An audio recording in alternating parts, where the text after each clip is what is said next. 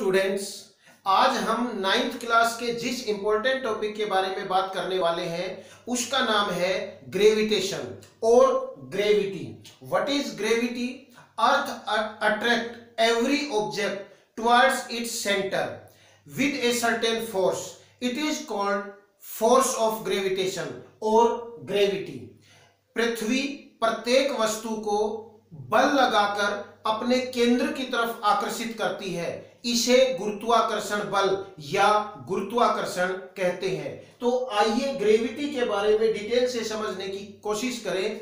In fact every object attract every other object towards itself it is called gravitation वास्तव में इस universe में प्रत्येक ऑब्जेक्ट किसी दूसरे ऑब्जेक्ट को अपने केंद्र की तरफ़ आकर्षित करता है।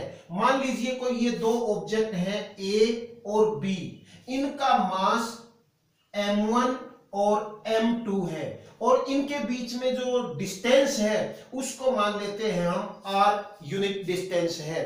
ये दो ऑब्जेक्ट कोई भी दो ऑब्जेक्ट हो सकते हैं, जिनमें मास होता है, वो दोनों ऑब्जेक्ट सर्टेन फोर्स लगाकर, कोई बल लगाकर एक दूसरे को अपने सेंटर की तरफ़ अट्रैक्ट करेगा। इट इज़ कॉल्ड ग्रेविटेशन ये जो जिस फोर्स से अट्रैक्ट करेगा, उस फोर्स को हम कैलकुलेट करने के लिए आइए समझते हैं, जो फोर्स होगा इनके बीच में it is directly proportional to M one into M two जो इन दो ऑब्जेक्ट के बीच में फोर्स है it is directly proportional to product of the mass of these objects इन दोनों ऑब्जेक्ट में यदि मास कम है तो इनके बीच में फोर्स ऑफ़ अट्रैक्शन भी कम होगा। और यदि इनके बीच में मास ज़्यादा है, यदि दोनों ऑब्जेक्ट का मास ज़्यादा है तो force of attraction gravitational force बहुत ज़्यादा होगा। यदि एक ऑब्जेक्ट में मास बहुत ज़्यादा है एक ऑब्जेक्ट में मास कम है, तब भी फोर्स ऑफ़ अट्रैक्शन ज़्यादा होगा। जबकि इनके बीच में जो फोर्स ऑफ़ अट्रैक्शन है it is inversely proportional to the square of the distance between them इनके बीच में जो डिस्टेंस है, इसके जो फोर्स है, ये जो इनके बीच में डिस्टेंस है, इसके स्क्वायर के इनवर्सली प्रोपोर्शनल होगा। इट मीन यदि इनके बीच में डिस्टेंस ज़्यादा है तो इनके बीच में फोर्स ऑफ़ अट्रैक्शन कम होगा। और यदि इनके बीच में जो डिस्टेंस है वो कम है तो फोर्स ऑफ़ अट्रैक्शन ज़्यादा होगा इन दोनों इक्वेशन को यदि हम कंबाइन करें, इन दोनों इक्वेशन को कंबाइन करने पर जो फोर्स है it is directly proportional to M one into M two divide by R square यदि डायरेक्टली प्रोपोर्शनलिटी का हम साइन हटाते हैं then it become F is equal to capital G. Capital G is the gravitational constant. F is equal to capital G m1 m2 upon r square. यहाँ पे जो capital G है, ये है gravitational constant gravitational constant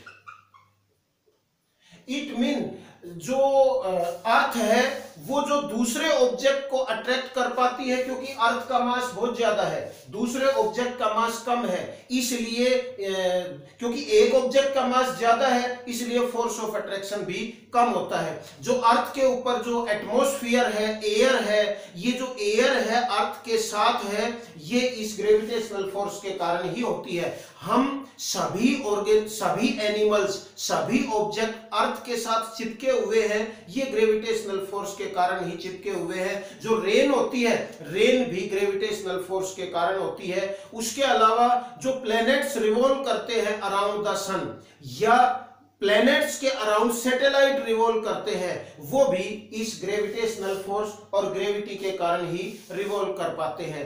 इस g की जो value होती है, g की वैल्यू इस इक्वेशन नंबर थ्री से हम कैलकुलेट कर सकते हैं।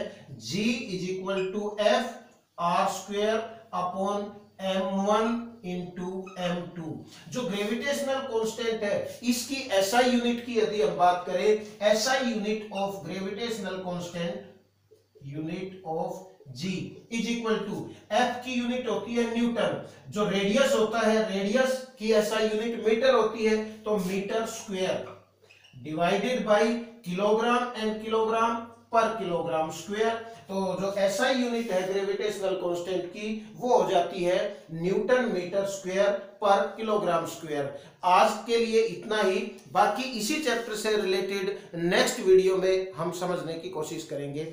यदि आपको चैनल अच्छा लगे, यदि वीडियो पसंद आती है तो प्लीज़ लाइक बटन ज़रूर दबा देना। और यदि अब तक चैनल को सब्सक्राइब नहीं किया है तो चैनल को सब्सक्राइब करना मत भूलना। Thank you